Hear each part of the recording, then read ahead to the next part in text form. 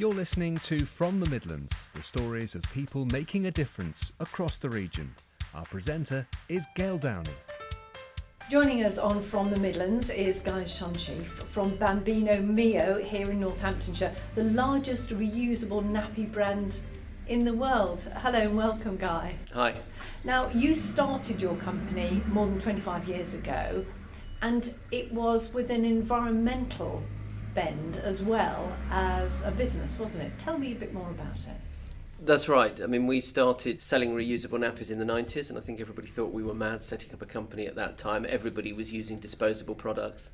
But we had a real belief, and, and, and reusable nappies had, had lots of um, important reasons why people should, should use them. And it's not just about the sustainability angle, although a third of waste that's going to landfill is disposable nappies.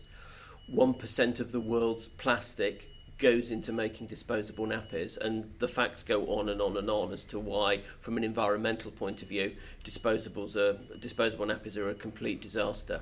But also it's the money saving. Um, people parents can save a substantial amount of money by using reusable nappies and of course because it's a reusable product they'll go on to save more money with a second child.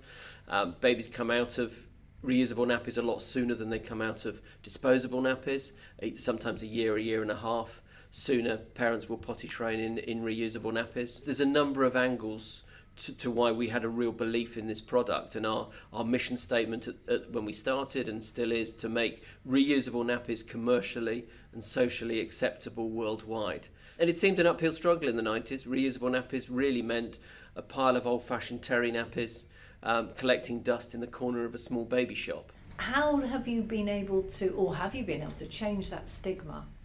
Well, I think the products themselves are really important. The products have moved on considerably. When, when people talk about, some people often use the phrase about going back to using reusable nappies.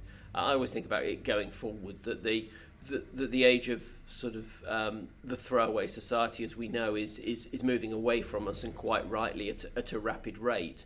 So actually the, the, the reusable nappies that people now move into are as easy to use as disposables. Uh, they use modern fabrics, um, Velcro to seal, um, very absorbent, easy to use, and certainly with our products, beautiful prints and patterns that, that, that, parents seem to like. So part of it is about the ease of use of the nappies, but it's making sure that parents have access to, to all the products that go with it. So everything from the sanitizer that you can that you can wash the nappies in to kill the bacteria, the the nappy liners uh, to pick up all the messy stuff so that doesn't go in the in the washing machine. Through to parents will use a nappy bucket to store the nappies, although there's no sort of soaking or, or anything like that anymore that is necessary. And then washable training pants and swim nappies. We all know the disposable versions, the little swimmers, the pull ups. Well, many, many parents see even more than, than would actually maybe do the, the whole reusable nappy thing, would, would use reusable training pants or, or, or reusable swim nappies because, again, saving a huge amount of money and not throwing away a single use product. A lot of what we invest time in is within the marketing and what i mean by that is is communicating it to parents as to how easy it is. At the end of the day disposables are um, an essential part for some some parents and, and, there are times when when when disposables are essential for parents but actually there is a misconception that that disposables are necessary and that reusables are really difficult or really expensive we've identified sort of the barriers that they are that there are there and actually we can see that once parents have it explained to them about how easy the product is to use the money saving that's involved and actually all the benefits parents who use reusable nappies all the time have don't see those issues. It's it's it's just part of the routine, and and and there are no issues. But obviously, disposable nappies are incredibly profitable for some very big companies, and it's in their interest to market market a different message. So, in terms of how have we tackled this, a lot of it is involved in, in how we work through through social media, through bloggers and influencers, through our website, through email, to help parents on their journey. Because almost on a daily basis, there are more and more people coming to this category because they want to use reusable nappies and not disposables. So, you're changing people's perceptions, you're changing the mind of parents and, and people who, who care for, uh, for young children. And how successful do you think you've been here in the UK, and how and are you more successful because you, you export to fifty countries, don't you? We see good growth. I mean, from those small beginnings in the in, in the nineties where uh, we were selling by mail order. It was pre-internet days. It was sending out a brochure, and people would send a, a check if you remember what one of those is, and we would send the product out. We then grew that into independence, and and nowadays you find our products in in sort of all supermarkets, mainstream stores, everywhere you'd expect to buy baby products.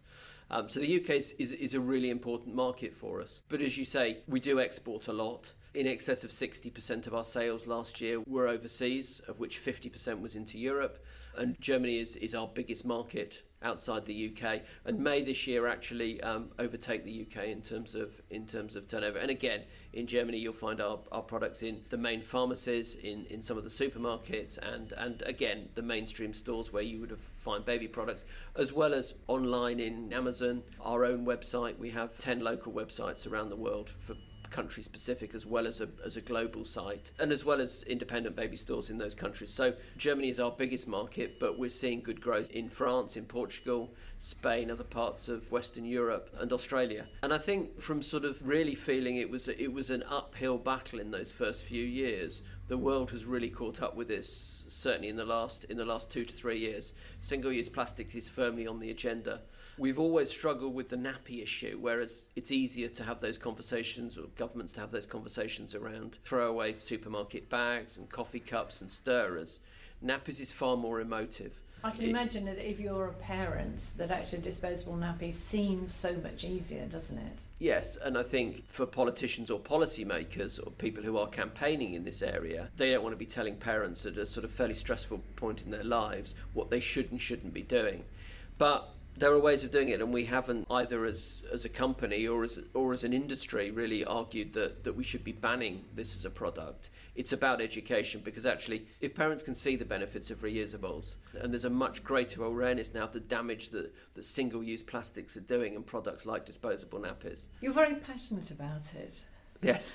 And you actually became involved in a small Pacific island I'll try and pronounce it Vanu- Vanuatu? Vanuatu. Vanuatu. And tell us about that and tell us how you helped government there uh, reconsider their views on disposable nappies. So Vanuatu, for those who don't know, is a is a is a group of islands off the east coast of Australia. It's about an hour and a half's flight from from Brisbane. Like a lot of Pacific islands, who are the countries that are going to that are being most affected by climate change, they're very forward thinking in terms of environment, and they did some work a couple of years ago on, on single use plastics.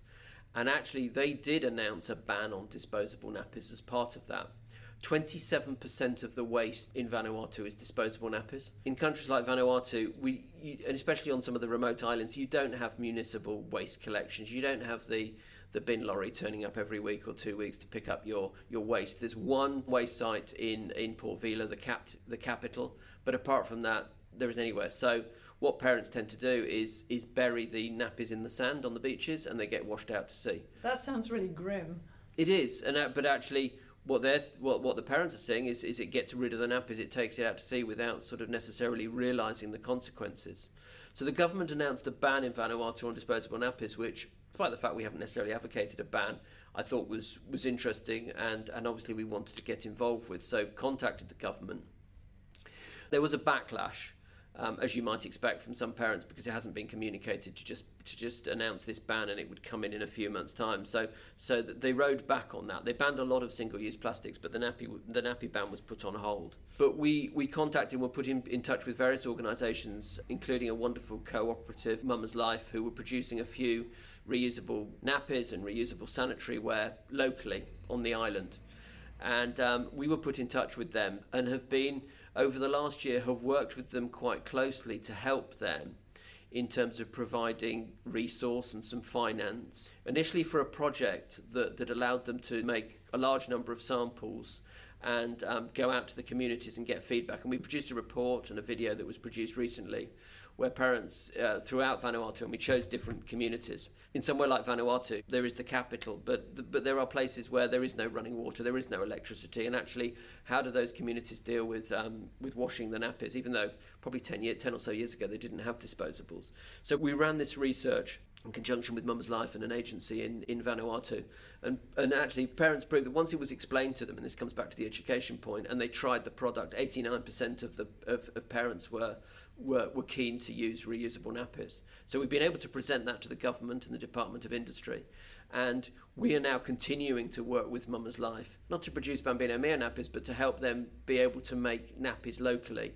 And not only does that sort of play at the heart of our, our mission, our purpose to get more people to use reusable nappies. There isn't a huge amount of money in, in Vanuatu, so we're working with them and helping them design and produce a nappy that will be cost effective and will work for, for the majority of, of, of the population in Vanuatu. So we're helping them develop that, helping them scale up, and actually by producing the product locally, it provides employment largely for women. When somebody's been employed for, for a certain period of time, will pay for, for the education of the children.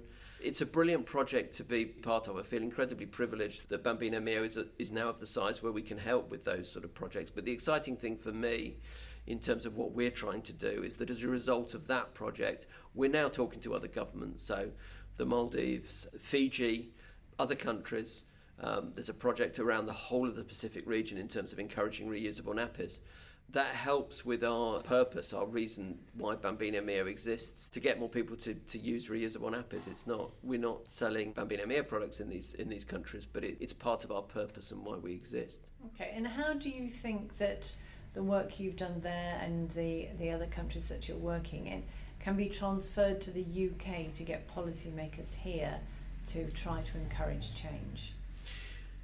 It's very interesting because. Um, I set up our trade organisation about 20 years ago, the Nappy Alliance, and we've campaigned with government in the UK to address the, the nappy issue. We know they should be addressing it in terms of wanting to get to zero single use plastic by 2050 and all their environmental claims that they want to make. And actually, again, in the last two or three years, because single use plastics are top of the political agenda, those conversations are easier. And the Environment Bill in the evening debate on that, where there were probably 20, maybe 30 speakers in that. Four of them spoke about reusable nappies. I think on this one, the UK government is, is slightly behind the curve. There are countries that are addressing this better than, than the UK, and certainly when we talk to governments in, in Australia and in Europe, we can see how addressing the, the disposable nappy issue fits very much with, with, with general policy. And what's the percentage here in terms of disposable nappies filling landfill here? In terms of all waste, about 3 or 4% is disposable nappies, but obviously we do recycle quite a bit of, of waste. I don't mean nappies. We, in terms of our ge- general waste, some of that is recycled. But a third of non-biodegradable waste that goes to landfill is disposable nappies, and science suggests that they t- they will take up to 500 years to, to, to break down. And you're throwing human waste into um, into landfill, which it was never designed to deal with. You set up the company 25, more than 25 years ago now, but you'd always been a bit of an entrepreneur even when you were a child. Tell me that story. If you speak to family, even from even from a young age, I'd sort of, I suppose I'd always had this idea. I suppose I was always destined to sort of run my own business. I, I sort of vaguely remember I was quite young at the time, and I don't know when it would have been, seven, eight years old, organising a jumble sale for charity and going around the um, going around the village we lived in, having put notes through people's doors, collecting all sorts of jumble, filling our local village hall. Um, put a little advert, a little note about jumble sale. Um, it was before car boot sales and things like that in the in the in the uh, in the paper, in the local paper. And um, I remember walking with my father then about an hour before it was due to start, and there was queues around the block for this uh, for this jumble sale, um, and that was sort of my first taste of entrepreneurship if you, if you like. And um, there's other examples from from from so my childhood you, and so teenage years. An annoying child in that way. Oh, probably as an annoying adult as well. so you did a business studies degree, and you then, because your father was a chartered accountant, you thought I'll train as a chartered accountant. I know when we spoke before the interview, you said you were probably the worst trainee that KPMG had ever had. So why was that? I did a business studies degree and I'd done a year out working for, for Marks and Spencer in management, which was a great experience. And then when I left, I still had this burning desire. I'd always wanted to run my own business, and I, but it was about finding something that I could be passionate about and believe in and, and, and, and finding that opportunity. So uh, finance had always, had always I suppose, been at, at in the back of my mind, I understood finance. Um, and, and as you say, Dad was a Dad was a chartered accountant. It's a world I knew, so I'd always been told, and I think it's probably right that if you get an accountancy qualification, you can't go wrong, especially if you go and run a run a business. But I think very quickly I realised probably I hadn't got the patience to do that. I don't think they ever put me actually into any exams. I was there about a year and a half, and yeah, probably the worst accountancy trainee KPMG had ever had, and they didn't make any secret of the fact. So I think they were quite relieved when I turned round. Jo had been made redundant from, from Marks and Spencer's. Jo, your then girlfriend. Yeah, go, go. Wife, yeah. yeah. Jo had been been made redundant. Um, I clearly wasn't going to have a career in accountancy, so we. Uh, we literally made the decision, and within within a month of within a few weeks of, of, of resigning from KPMG, we were we were in India, and, and, and had a brilliant brilliant time, nine months travelling around the world, um, but and at the same time, sort of looking for business ideas, and, and, and, and the nappy thing kept rearing its head in the most bizarre places, um, giving us that idea. So tell us how that came about. So we were in India, uh, which was sort of the first country we went to on our travels, and we were at the Taj Mahal one night, seeing the full moon, which was nice, and just got talking to an American from New York who talked about diaper laundry services that had, that had done very well in the States in the 80s and then sort of disappeared. That was the sort of first suggestion about, about nappies, about diapers.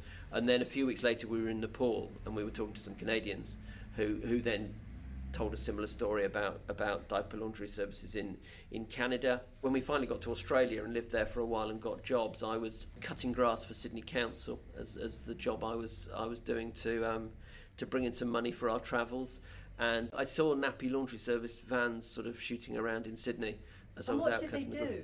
So nappy laundry services basically deliver clean nappies each week, and you collect the dirties. So it's a service to, to do that. Uh, we visited one in New Zealand that, as we, as we went through New Zealand, that had done very well, and came back and started one of the first in the UK. There were there were quite a lot in the sort of thirty or forty small companies doing this at that time. It was an interesting business nappy laundry and the, the, there's lots of different skills that are required obviously there's the, there's the transport of them. We contracted out the laundry. Um, it was never going to be a business that was going to be particularly scalable, but what it did do is gave us fantastic experience of the product. So because with a laundry service, if you don't get on with it, if you if you if you're not if you don't like it, then then then you you'll, you'll just stop the service. And we were seeing parents every single every single day who were using the products and really got to learn about how the products worked, how they could be developed, and certainly in terms of the products that Jo then went on to create for Bambino Mio, a lot of that development came from the the experience that we got from talking to parents. So when we ran that for a few years we were getting asked more and more for people who just wanted to buy the products and wash them at home because a laundry service is going to cost the same as, as using disposables, so you're not getting the money saving. And actually, people were beginning to realise, well, it is quite easy to wash these things at home. So we closed the laundry service down, and, and, and as you said, in, in 1997, started Bambino Mio. The business initially, when you set it up, was doing very well, but then things changed, didn't they? In 2008-9, we sort of we sort of plateaued at a business as a, as a small business at a sort of two million turnover, and then the recession hit us. We were doing 50% export, 50% UK business. Most of our export, nearly all of our export business, we were doing through distributors at that time. We now go direct to market, but in those days it was through distributors, and our two key distributors in France and the US had issues with other products within their range and um, they had issues within their business and stopped ordering from us. So we lost literally overnight about a third of our turnover, which then became half of our turnover. It was a really tough time. We had to obviously make huge savings. We had to unfortunately make people redundant at that time, which was which was very difficult. But we still had a real belief that this is what we wanted to do, and the world would catch up with us. So we made some key strategic decisions. Digital was coming through really strongly at that point. Um, suddenly, the people who'd been at school university were starting to have babies, and they'd come through school and university use it, being online, and those people were then having babies. So the ch- everyone obviously was moving to digital, but in the baby market, it happened quite quickly and quite dramatically. We knew what we wanted, but the technology was took a little time to catch up. But so decent website, uh, decent email, working on social media with bloggers and influencers, PR and bring all that together and it would hopefully drive what we were what we were trying to do and we certainly saw that in the UK market we were started to work more with supermarkets, the new designs and the prints. We did a lot of work on that. But I think the digital piece that worked in the UK then meant that we could go to some of our overseas export markets directly, speak to consumers directly, work with the retailers directly without without distributors in the middle and that was sort of a monumental change for the business so having done that first bit in the first sort of 10 15 years of the business of proving that we had a product that people wanted to buy we were then able to do the scalable bit. So we've then subsequent to that by 2013 14 we were seeing sort of some quite quite dramatic dramatic growth then off the back of it which has continued to happen. And it was fantastic last year to, to be listed as in the Sunday Times Fast Track 100 fastest growing businesses in the UK. That's absolutely excellent that, that you've got that far when there must have been moments when you thought, hmm, perhaps I should do something else. Yeah, probably not go back to accountancy. I think we were just so invested, both metaphorically and literally, in the business. And we had a belief in it, and we had really, really strong foundations that actually, yeah, we just carried on. And you're on target now for 20 million turnover? For this year, yeah. This year, that's great. What is the most extravagant thing you've ever bought or you've ever bought to your family or yourself or you and your wife since the business has grown and obviously become very profitable and successful? That's an interesting question because I, I don't think we have gone out and been particularly extravagant because we have invested, we have reinvested. We don't have a lot of borrowing. I won't bore you with that story, but during that time when it was really difficult, like a lot of businesses, through the sort of 2000 to 2010, 2008, the banks had thrown everything at us that we could. And, and to be fair, that's what helped us grow. We had everything from invoice financings to overdrafts, everything the bank would, um, would throw at us. But of course, as soon as things took a downturn, which we couldn't have predicted the level at which that had happened or that would happen, they were really, really difficult. And I think having been through that, the one thing that I said and that we that we subsequently did was to remove any sort of debt from the business, and we've been able to grow the business at the fast rate that we have, really by um, a lot of it has been been reinvested. So the business has given us a really a, a good life. We go on nice holidays and and have a nice house and, and, and, and all of those things. But actually, I can't pick out anything specific or we haven't specifically gone out because at the end of the day, a lot of the profit from which we have been able to generate goes back into the business to ensure that we can continue to grow. The business is stable, the business is financially stable, and we're not reliant on a huge amount of borrowing to get there a business built on on solid foundations gives you the freedom i think for, for us in our business gives gives us the freedom to go out and do what some would describe as our purpose driven stuff. So the stuff that we're doing in Vanuatu. I mean, we have three strands to our mission. The sustainability piece, which is I think is obvious on the on the on the surface in terms of we provide a product that is sustainable and does does help with sustainability, but that does run right through our business. So we we talk with our suppliers about how they're looking at their supply chains with sustainability, and we look at lots of areas of the business um, where we can be as sustainable and continue to improve with that. And then our other strands being um, our campaigning for change, and I talked a bit about that in terms of the work we do with governments and the work that I do through the Nappy Alliance and then the giving back. And the giving back partly is in places like Vanuatu because that's part of our giving back giving back strategy. But we also work locally, so we have a fund with the Community Foundation in in Northamptonshire that, that is specifically targeted at supporting organisations that support people on low incomes and, and tackles some of the um, the poverty in the county. And you were awarded the MBE for Services for Business. Yes. Uh, was that a, a completely out of the blue? Uh, yes, completely. And it was a it was a real surprise. I remember getting the letter, which was around the November time, and I was quite pleased. But it, it was quite a basic letter actually. It's all it's, it was in black and white. You sign and say yeah you accept it, and then you, you won't hear anything until the announcement on, on New Year's Eve or the day before New Year's Eve. And um, for all that time, Jo just thought it was somebody who was um, a friend having a joke. Oh, really? until it actually yeah. Until it actually happened and I suppose in the back of my mind I was thinking maybe that's that's the case. But no it was a, it was very humbling to get that. It was a fantastic um, recognition and I, w- I was very grateful for for getting it although you do spend your time sort of running into other people and you think oh they they they should be getting sort of acknowledgement for stuff. So uh, it was a massive surprise but a very nice surprise. And when were you awarded that? 2011 the future for Bambino Mio. What is it and for you for me it's never been it's never been more exciting there's never been more going on i mean we have between 90 and 100 people work here at bambino mio now Um, it is a fantastic team. We have a fantastic culture here where everybody is working in the um, in the same direction. What's exciting for me is I think that culture that that we've created. I've always thought, well, as we grow bigger, some of that's going to get lost. You're not going to necessarily attract the same people who, who have that same view. But actually, it's completely the reverse because the culture is really strong here and we all have this purpose and, and, and have a brilliant team who are all working in the same direction. That just attracts people who want to do the same thing. And actually, one or two people may come into the business and don't quite get that and they don't tend to stay because they're not tuned in in the same way. I think the most exciting thing for me in terms of the bigger picture is the way that disposable nappies and the nappy issue is now part of mainstream debate. So the government in the UK is running a new life cycle analysis on nappies, which will hopefully facilitate more work in this area in terms of encouraging reusables. But the United Nations have just report, produced a report on single-use plastics that included nappies. There are projects going on throughout the world, and, and I think for the first time, I really feel that on that large scale, that we've experienced the discussions around single-use plastics on, on coffee mugs, on, on stirrers, on plastic bags. Nappies will be the next big thing, and I think in terms of the way consumers are are changing, especially millennials who are having babies. You can see the sea change there, and I think nappies will be the next thing that we see in terms of that high profile attack on, on single use plastics that do so much damage.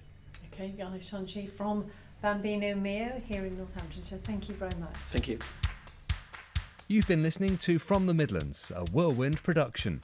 If you've enjoyed listening and would like to sponsor this series of podcasts, details are available on our website at fromthemidlands.co.uk.